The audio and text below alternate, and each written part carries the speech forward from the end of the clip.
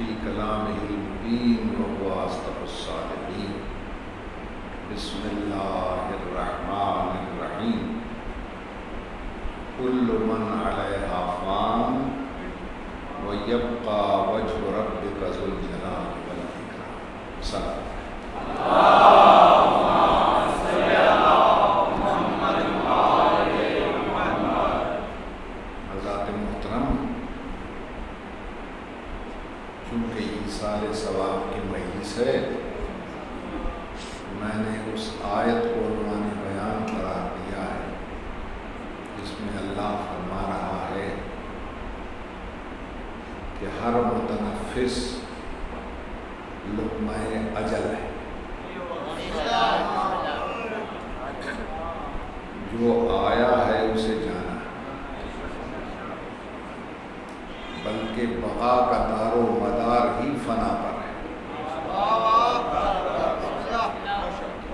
जब तक एक शय फना नहीं होती, दूसरी शय बना ही नहीं करती। गंदुम के दाने ज़मीन में फना होते हैं तो लहलहाते हुए खेत तैयार होते हैं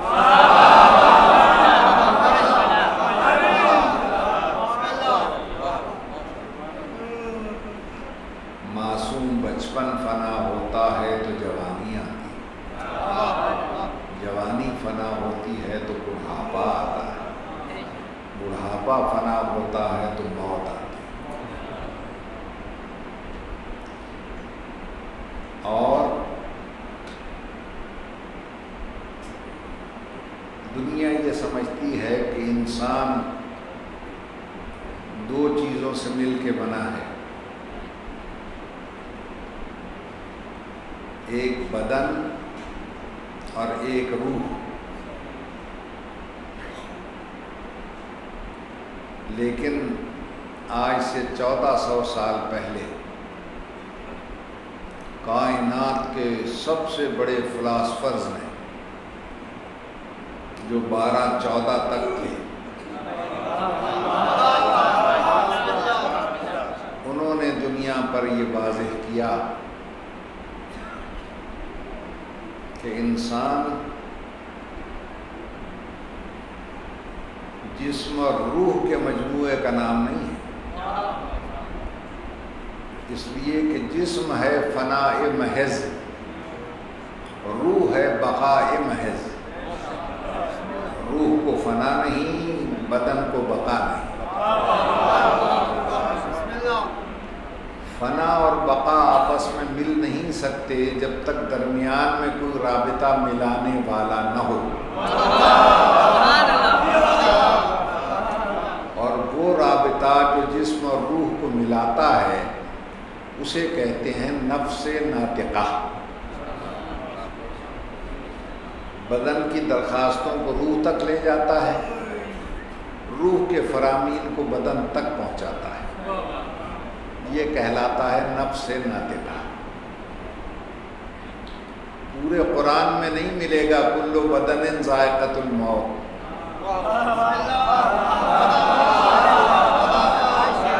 कुल्लो रूहिन जायकतुल मौत नहीं मिलेगा। कुल्लो नफ्सिन जायकतुल मौत। ये जो दरमियान में राबिता है ना, नफ्स नातिका। ये मौत का मज़ा चखता है, चखते ही टूट जाता है, बदन अलग हो जाता है, रूह अलग हो जाता है।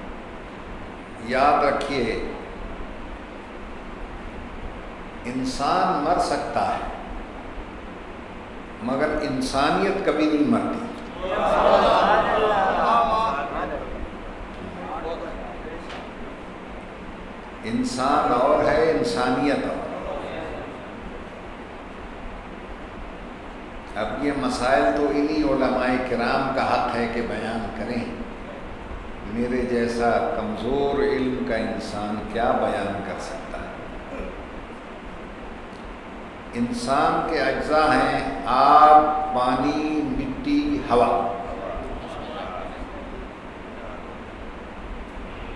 चार अल्लाह ने ऐसे चार इंसान में जमा किए हैं कि चारों का खानदान अलग।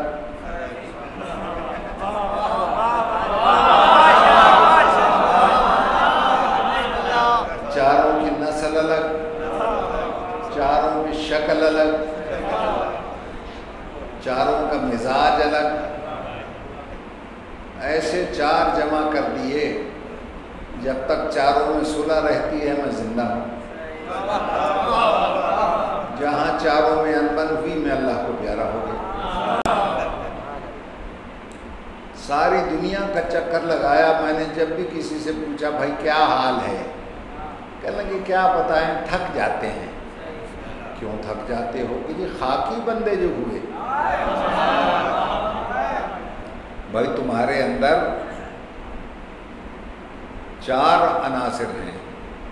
हवा भी तो है। अपने आप को हवाई बंदा क्यों नहीं कहते हो? आग भी है, नारी बंदा क्यों नहीं कहते? हवा है, हवाई बंदा कहो। मगर हर एक कुजिद है कि हैं चार नाम एक कलेंगे।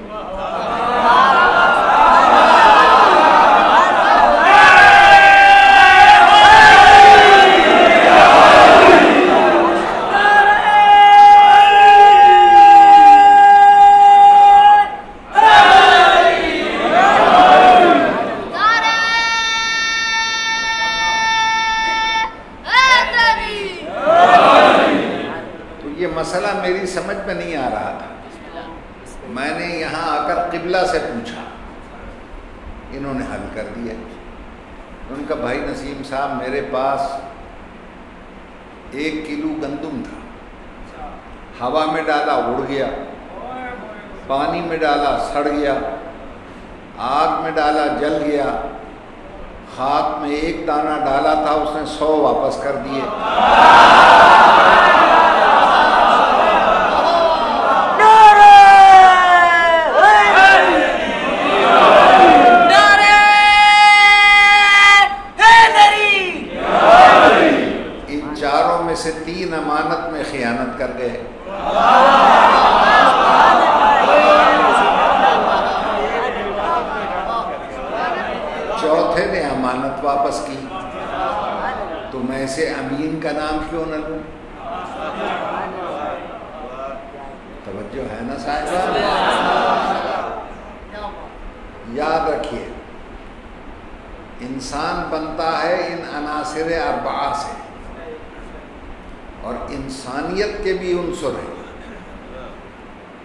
इंसान के अनासर हैं आग, पानी, मिट्टी और हवा।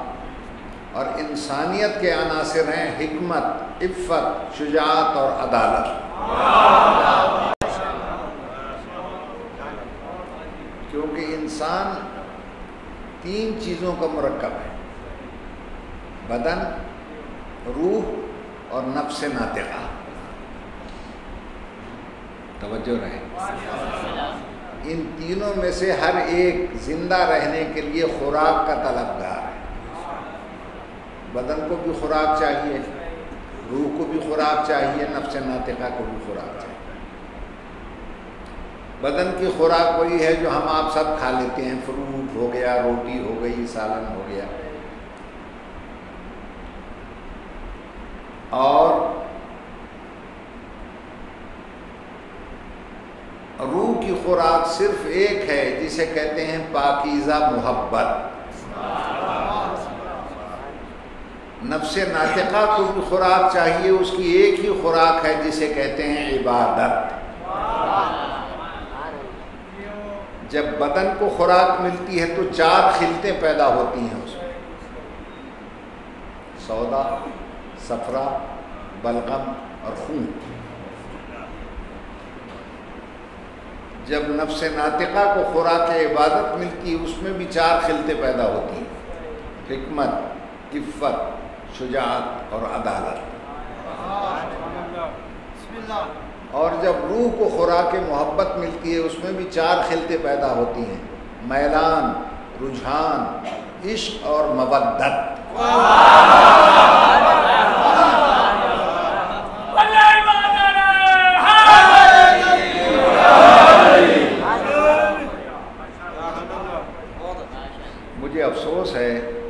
मैं अपनी कमज़ोरी के सब ज़्यादा देर तक तो जहमत दे नहीं सकता। हल्की फुल्की तशरी करके मैं आपसे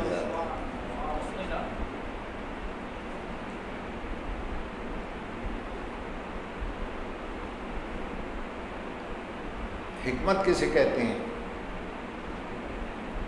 लोग समझते हैं, जो दवाएँ बेचे वो हकीम है। अगर दवाएँ बेचने वाला हकीम है तो कुरान हकीम की क्या मानी है?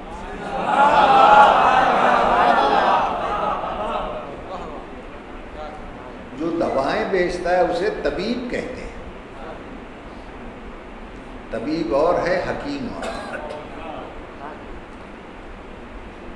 ये इल्मी मसाइल हैं। क्योंकि हमारा मिंबर मिंबर इल्म है और मुझसे पहले और मेरे साथ एक मुतबाहर आलिम तशीफ रखते हैं, इसलिए मैं बड़े डरते हुए एक दो बातें अर्ज़ करना चाहता हूँ। पूरे फलसफे में हमत की तारीफ़ क्या है? इल्म बेहक़ाइक़िल अशिया कमा हिया हिया। अशिया की हकीकतों को इस तरह जानना, जैसे अल्लाह ने उन हकीकतों को बनाया है। इसे कहते हैं हिकमत। अशिया को जानना तबाबत है। अशिया की हकीकतों को जानना हिकमत है। तवज्जो है साहब। और हकीम की क्या तारीफ़ है फ़लसफ़े में? अब तशब बिलाह बेकदर इम्कान। देखने में इंसान हो, मगर अशिया की हकीकतों का इतना बड़ा आलिम हो कि जब बयान करने लगे उस पर खुदा होने का शुबा हो जाए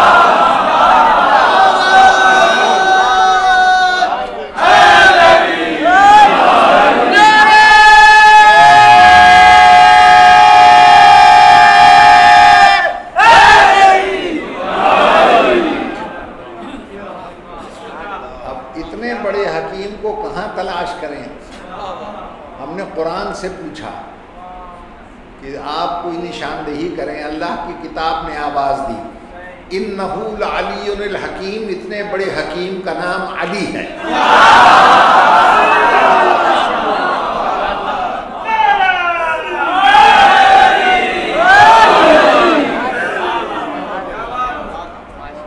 अशिया की हकीकतों को जानता है इसीलिए उसने बार बार ऐलान किया कि मैं अशिया के हकीकतों को जानता हूँ और अगर तुम्हें मेरे दावे की सच्चाई चाहिए, सलोनी। सलोनी, पूछो जो पूछना है पूछो। और सुनते हो, जो आज मुझसे पूछेगा नहीं, उसे दुनिया में कोई पूछेगा नहीं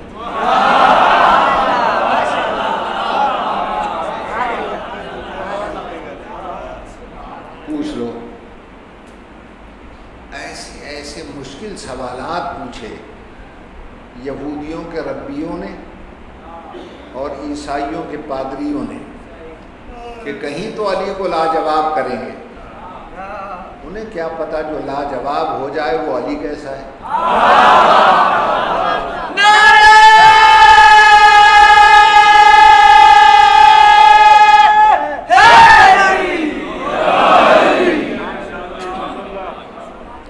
उन्होंने मिलकर जनाब बड़ी मुश्किल से एक सवाल तैयार किया। खतीब मंबर सलमनी से पूछा, आपका अल्लाह समी और बसीर है? फरमाया हाँ है। का कोई ऐसी शय भी है जो आपका अल्लाह नहीं देखता?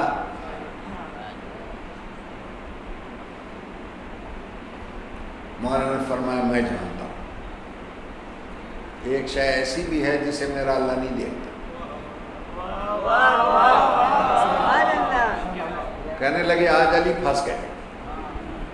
बड़ा अल्लाह हो और देखता ना हो। ये कैसे हो सकता है? फरमाया, वल्लाह माँ कजब तो वला कुजिब तो खुदा की कसम, न कभी अली ने झूठ बोला, न किसी ने झुठलाने की ज़रूरत की मैं फिर कहता हूँ, मैं एक ऐसी शय जानता हूँ जिसे मेरा अल्लाह नहीं देखता। सबने मिलकर कहा जिद नहीं बयाना जरा वजाहत तो फरमाएँ। मौला ने फरमाया, ओ पादरी हो ओ रब्बी हो जाओ। मेरे बयान की तरदीद करके दिखाओ। कहने लगे, कौन सी शय आपका अल्लाह नहीं देखता? फरमाया, मेरा अल्लाह ख्वाब नहीं देखता।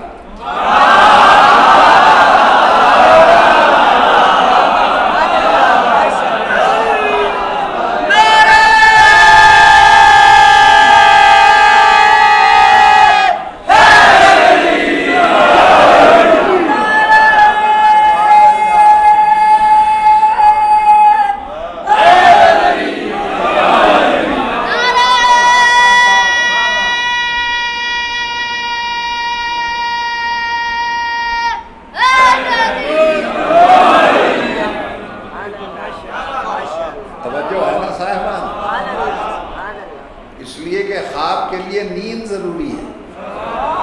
और मेरा अल्लाह, ला ताखजहू से न तुम वला नौम का मालिक है। न उसे ऊँघ आती है, न नींद। उनका ले भाई, अली ने तो चश्मे जतन में मसला ही और कर दिया कहना लगे आपकी किताब है कुरान का हाँ। का इसका दावा है ला रब बला याबिसिल्ला फ़ी किताब मुबीन। हर खुश को तर इस किताब में है। कोई ऐसी शय आप जानते हैं जो इस किताब में नहीं है? तो मैं हाँ मैं जानता हूँ। कि कुरान में भी नहीं है? कहा नहीं है। कहा या अली वो कौन सी शय का कुरान में झूठ नहीं है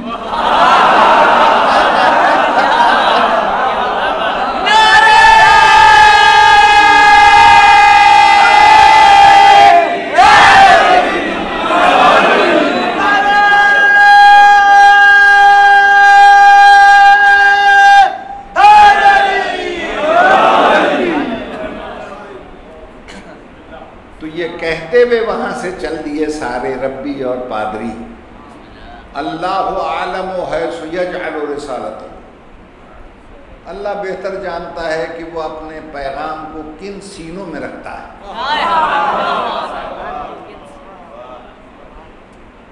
तवज्जो है ना साहिब?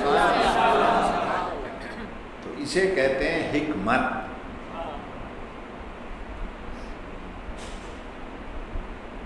फिर है इफ़्फ़त इफ़्फ़त के क्या माना है इंसानियत का दूसरा अंसर है। इफ़्फ़त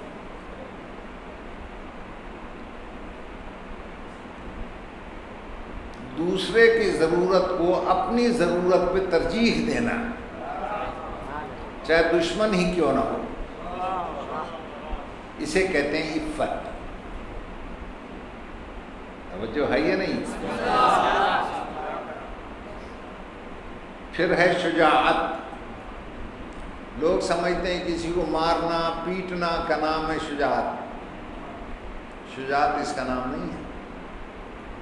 बिखरे हुए जज्बात पे काबू पाना दो मकाम पर, ऐश में और तैश में।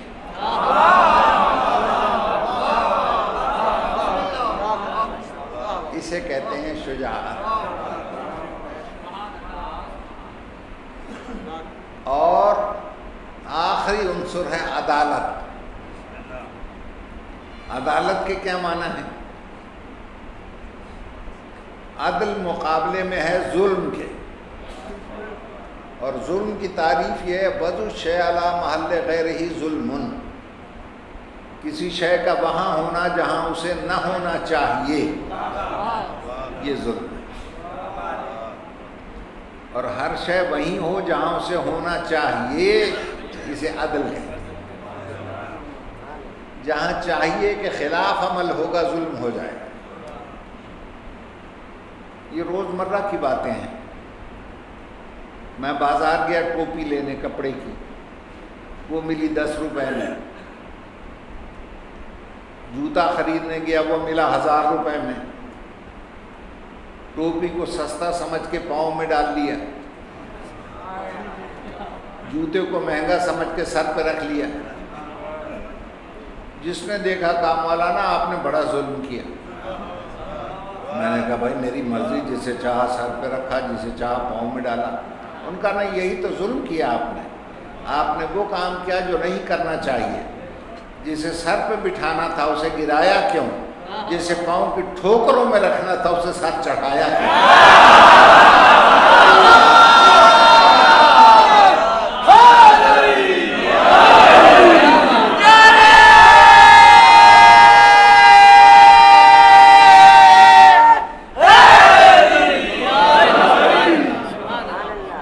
देखो ना इंसान मवाजने करता है ना मैंने कहा भाई पानी ले आना वो मिट्टी के टूटे हुए गिलास में पानी ले आया।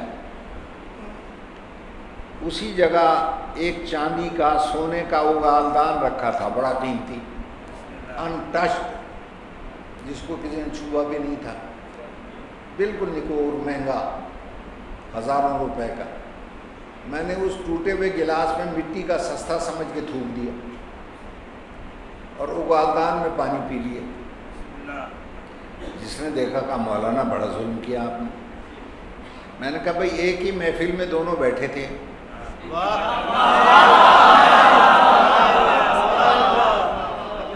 जिसे चाहा मुँह लगाया, जिसे चाहा मैंने परे कर दिया। कल नहीं, यही तो जुल्म किया। जिसे मुँह लगाना था, उसमें थूका क्यों? और जिसके मुँह में थूकना था, उसे मुँह क्यों लगाया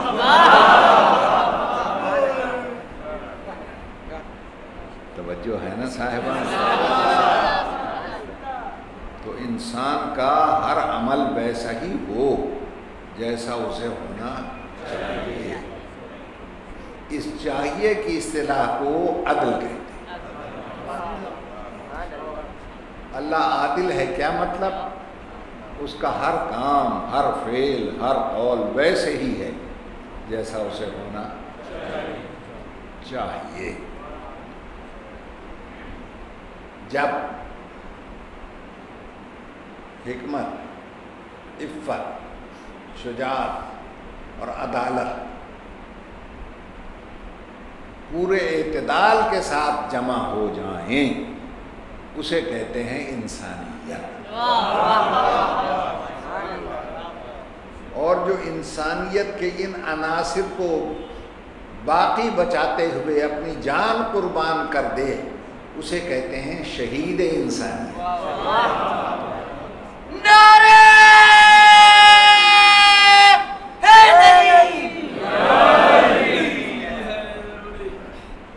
देखो ना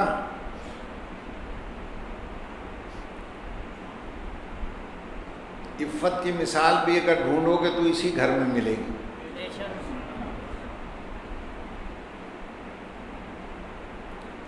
यजीदी फौज का जर्नैल था। मौला को गिरफ़्तार करने आया। घोड़े की लगाम में हाथ डालकर झटका दिया। और नीचे उतरे, मैं गिरफ़्तार करना चाहता मौला ने फरमाया, गिरफ़्तार कर लेना, मगर एक बात तो बता ये बोलते वक्त तेरी जबान में लुकनत क्यों आ रही है? कहा बहुत दूर से पीछा कर रहा हूँ प्यास से निढाल। फरमाया अच्छा फिर इस तरह कर पहले पानी पी ले फिर गिरफ़्तार कर लो। फरमाया अब्बास भाई मशकों के मुँह खोल दो। मशकों के मुँह खुल गए। एक एक सिपाही को पानी पिलाया। गाजी ने कहा, मौला, पानी तो बच गया। कहा, ये जानदार घोड़े भी बेचारे प्यासे हैं। रेत गर्म है। इनके पाँव तप गए होंगे, बाकी पानी इनके पाँव पे छिड़क पहले इन्हें खूब पानी पिलाओ, फिर पानी इनके पाँव पे छिड़क कहा, मौला, अब भी पानी बच गया। कहा, ये सिपाही जो हैं, इन पर लोहे के जिरें हैं, ये गर्म हो गई। बाकी पानी इनकी जिलों पर छिड़क दो क्यों मेरे अजीज़ों? जितना पानी इस दुश्मन को हुसैन ने पिलाया, अगर उसे संभाल के रखता तो क्या दसवीं के दिन छः महीने के बच्चे के लिए पानी का सवाल करता? मगर बहरी फतमाब हुसैन, प्यासा सिबा होता रहा, मगर उसके मुँह से न निकला कल मैंने तुम्हें इतना पानी पिलाया था, आज मुझे प्यासा क्यों सिबा कर दिया इसे कहते हैं इफ़त मगर इस इफ़त का नतीजा क्या निकला? दसवीं की सुबह तक तो वो बैठा रहा दुश्मन की फौज में। दसवीं की सुबह को शहजादा अली अकबर ने आज़ान दी। आज़ान की आवाज़ सुनकर उमर साथ से कहता है, हुर, क्या ये जंग रुक नहीं सकती? कि नहीं, तू घेर के लाया है, पहला हमला भी तू करेगा। उसने कहा, तुमने तो कहा था, घेर के लाओ, अब तुम मारने की बातें करते हो। न चला जाता है, न उठा जाता है, न बैठा जाता है। बड़ी मुश्किल से कमर पकड़ के उठा, खैमे की तरफ़ चला। खैमे से उसका बेटा निकल रहा था अली अपने हो उसने बाप को देखा तो मुँह मोड़ लिया। उसने कहा, बेटा, आज सलाम भी भूल गया। कहने लगा, सलामों के मौसम तो गुजर गए। मैंने रोका नहीं था कि लगाम में हाथ न डाल। अब उसे घेर के लाया है, ज़िंदा नहीं बचता।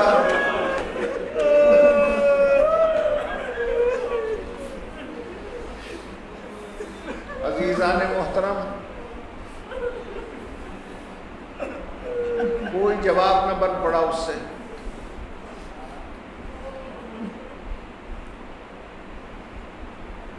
तो मौला की तरफ़ बढ़ा।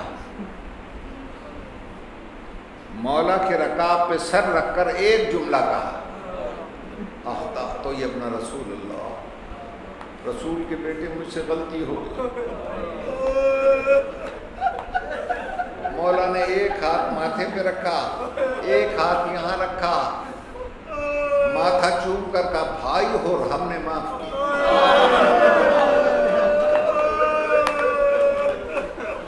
इधर भाई कहा, जल्दी से अली अकबर उतरे, चचा हो, मेरा सलाम। शहजादा कासिम ने कहा, चचा और मेरा सलाम। हबीब इब्न मजाहिर ने कहा, मैं बचपन का साथी था, मुझे तो हुसैन ने भाई नहीं कहा। बड़ा खुश नसीब है, तू भाई बन गया। ये मुबारक की आवाज़ें खैमे में पहुँची। शहजादी कौनैन ने सुनी? बुलाया ओन मोहम्मद, ये कैसी आवाज़ें हैं? शहजादों ने कहा, अम्मा, वो जिसने मामू का रास्ता रोक कर लगाम को झटका दिया था, वो मुजरिम आया फिर क्या हुआ कि मामू ने उसे भाई कह दिया? फरमाती अच्छा भी बाहर जाओ। एक और के दाएँ खड़े होना, एक बाएँ खड़े होना। मामू हुर कह के बात करना कहना मसला सलाम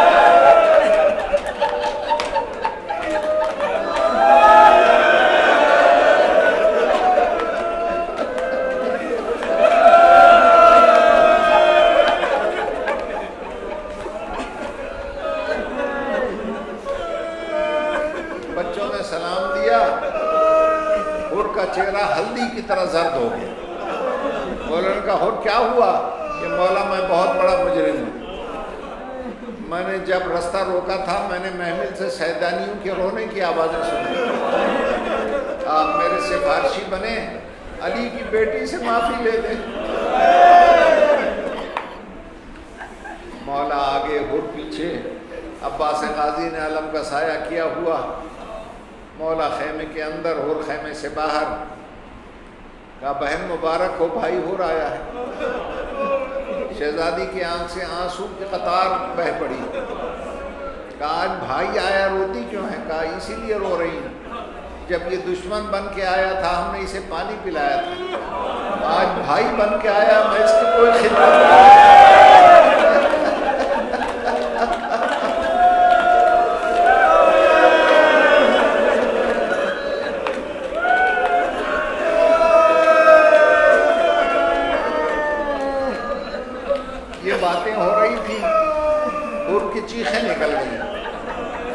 मार के कहता है, गुनाहगार उम्मत को बख्शवाने वाली माँ की बेटी। तुझे अपनी अम्मा की चादर का वास्ता मुझे माफ़ कर दे। ये है इंसानियत की मेराज। हुसैन ने तो कहा था, मैंने माफ़ किया और बहन हुसैन से बढ़ गई। फरमाती है, भाई और मुझे शर्मिंदा न कर। गुनाहगार माफ़ी मांगे, करीम शर्मिंदा हो रहा है। यह है मेराज इंसानियत। फरमाया अच्छा मैं तुझसे दो वादे करती हूँ। एक दुनिया का, एक आखरत का। दुनिया में ये वादा है कि अगर इस बेहया कौम ने मुझे मोहलत दी, मैं हुसैन से पहले तेरी लाश पे आऊँगी और भाई हुर कह के तेरा मातम करूँगी